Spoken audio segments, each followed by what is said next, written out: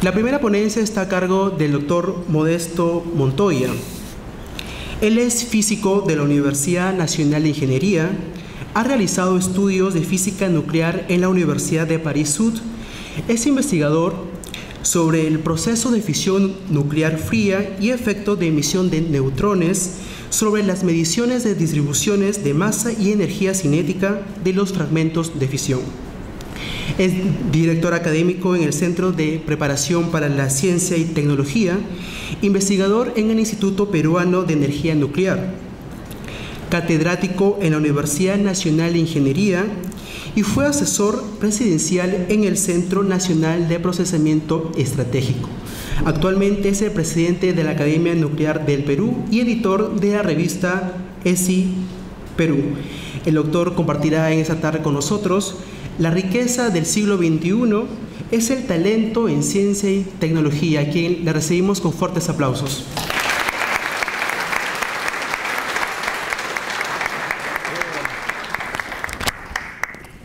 Gracias por la invitación, señor embajador, señor decano, estimados embajadores. La, la exposición va a ser sobre lo que hoy conocemos la competencia por las neuronas. Los países desarrollados hoy en día eh, están estableciendo políticas para atraer la mayor cantidad de cerebros. Obama lo ha dicho varias veces y por supuesto varios países están en lo mismo. La foto que ustedes ven allí es muy sugestiva. En los Andes hay un pueblito que como ven la forma como está distribuido parece una neurona, de modo que signos de tiempo. Y por supuesto esta es una publicación de la revista Nature que se dio en ocasión del Campeonato de Fútbol de Brasil, en la que nos eh, decía que hay en América Latina una distribución de la producción científica y tecnológica y esta se debe en gran parte a la cantidad de cerebros que hay en cada país. El tema de la ciencia y tecnología es una cuestión ya muy eh, antigua. Einstein decía en varias oportunidades que si bien la ciencia era modesta, simple, era lo mejor que tenía la humanidad. Y claro, ustedes se acuerdan claramente pues de la guerra, la Segunda Guerra Mundial, eh, Estados Unidos era un país de agricultores, de obreros, y Europa tenía eh, los grandes científicos, en especial en la física nuclear, química, etc. Y el señor Hitler tuvo un gran error en su, gracias a ello pudo ser derrotado, se peleó con los científicos y Estados Unidos aprovechó de ello para llevarse a la mayor cantidad de, de estos dirigidos por un americano, un americano que estaba motivado. Y es muy importante para aquellos que tienen aquí cargos públicos, cuando elijan a un eh, responsable de un proyecto deben escoger tres cosas, que sea motivado, que conozca su tema y sepa de relaciones humanas.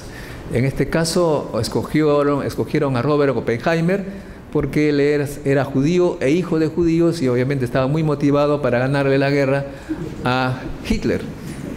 Debemos recordar que la fisión nuclear fue descubierta en Berlín justo al empezar la guerra, en 1938.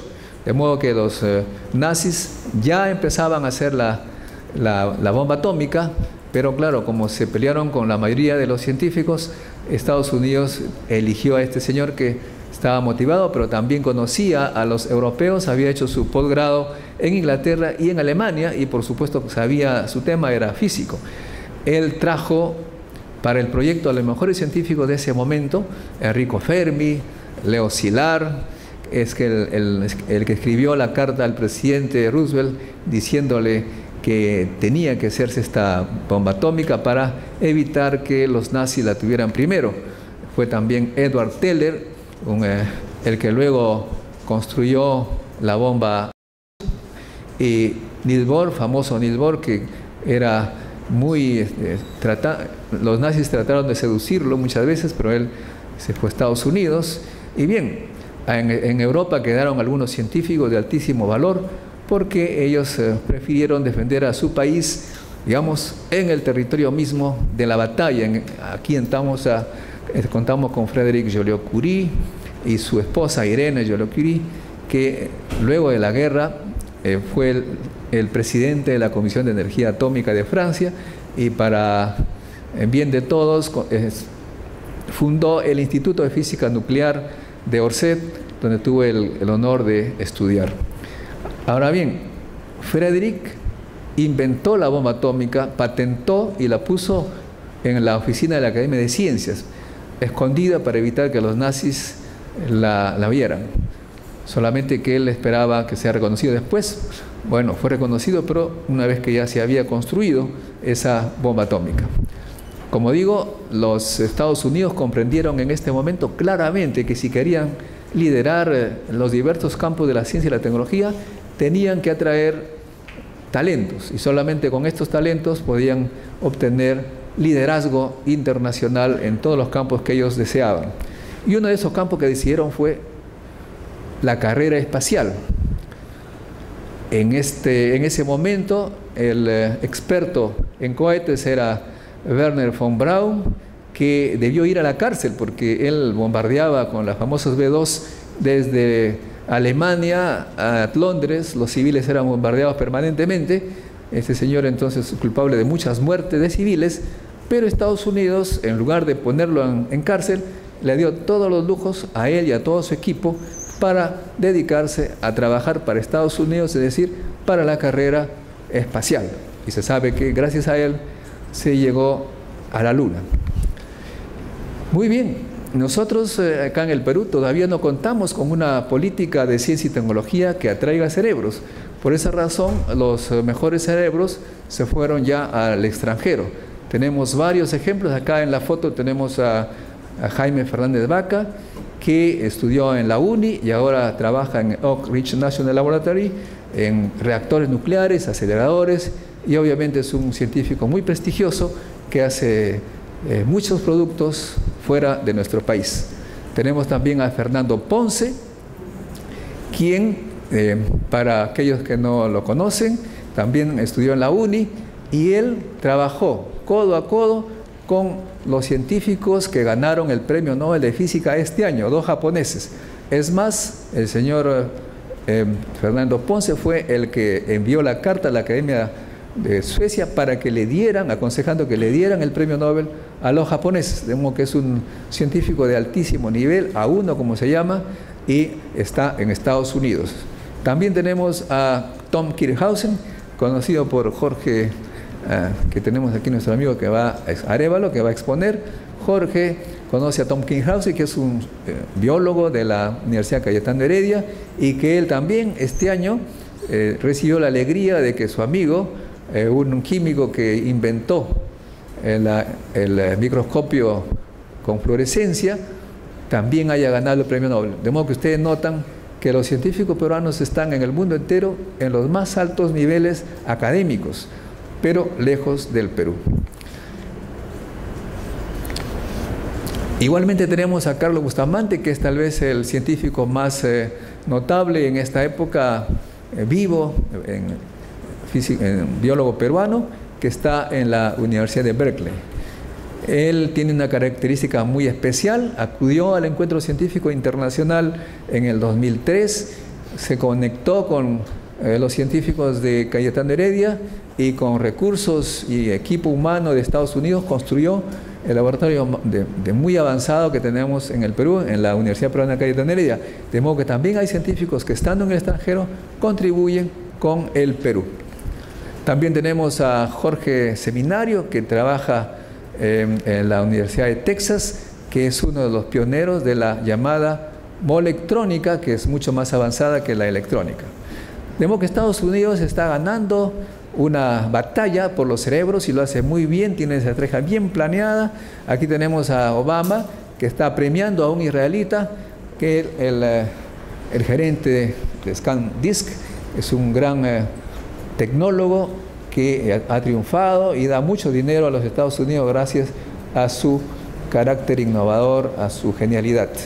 Esa es la manera como Estados Unidos está triunfando, eh, atrayendo los mejores cerebros y reafirma que va a seguir en este camino. Le faltan, dice, miles de científicos más. Acá tenemos al embajador de Francia y sus colaboradores y debo señalar que desde los años 80 Estados Unidos le comenzó a ganar la guerra por las neuronas eh, de una manera muy fácil y lo dije también a uno de los anteriores embajadores. ¿Cómo lo hacen? Cuando un científico pide una visa a Estados Unidos, inmediatamente en los años 80 le daban una visa permanente. Ahora le dan por 10 años porque ya no hay permanente. Cuando van a la embajada de Francia, le cuentan los días y las horas, si es posible, que van a estar en Francia. Obviamente, entonces, los científicos eh, se sienten un poco repelidos y se van directamente a Estados Unidos. De modo que allí Francia no se, no sé si ha cambiado, pero en esta guerra por los cerebros, en esa época, estaba perdiendo puntos. Muy bien, sin embargo, Francia tiene una muy buena relación con el Perú. Eh, tenemos eh, aquí en la UNI tuvimos a jóvenes científicos franceses en los años 70, uno de los cuales es el actual presidente de la, de eh, de la Comisión Atómica de, Francia y contribuye con el Perú de muchas maneras. Es más, Francia también atrae cerebros peruanos. Aquí tenemos a Harald Helgot que ha resuelto el problema de, que tenía como 200 años para ser resuelto, se hizo muy famoso en el mundo. Él trabaja el CNRS. Francia tiene una estrategia interesante. Ofrece puestos de investigadores del más alto nivel de una manera abierta, sin importarle a la nacionalidad. Harald postuló al CNRS, a la, a la Escuela Normal Superior de París, y ganó. De modo que eh, no le pidieron a él si tenía pasaporte, ¿no? pero ganó un puesto, un puesto permanente. Eh, el tema es que él quiso venir a Perú, pero acá no hay puestos. Está prohibido por la ley de presupuesto incrementar el número de puestos en los institutos de investigación y además está prohibido ascender. O sea que si alguien ingresa a los 20 años al nivel más bajo, se queda para hasta su jubilación. Esa es la razón por la que los científicos se van de nuestro país. Francia, como decía, tiene pues... Eh, una gran colaboración con Perú. Acá tenemos una foto en la que está en blanco y negro eh, uno de los premios Nobel de Física eh, de Jean, que, trabajó en la, la Universidad Paris Sud, vino a Perú con muchos científicos franceses que trabajaron aquí en nuestro país. Y la foto a color es el grupo de Puya de Raimondi, que es una agrupación de franceses que contribuyen con la ciencia en el Perú a través de colaboración diversa. Muy bien, ¿cuál es la consecuencia de esa incomprensión y falta de política en ciencia y tecnología en el Perú? El embajador ha dicho claramente que hay una serie de pequeñas modificaciones de leyes, pero la ley más importante es obtener recursos humanos porque los talentos son los que manejan la situación. Un empresario no puede invertir si no hay cerebros y es lo que nos falta en el Perú. Hay mucho dinero, pero no hay una política. Actualmente los responsables de la ciencia y tecnología del país que tienen un nivel no muy elevado, no son ministros, señalan que ya comprendieron la necesidad de, crear el Ministerio de Ciencia y Tecnología. Los que se oponían hace cinco años quieren este ministerio, sin embargo, faltando un año y meses, supongo que va a ser un poco difícil. Ojalá que lo logren.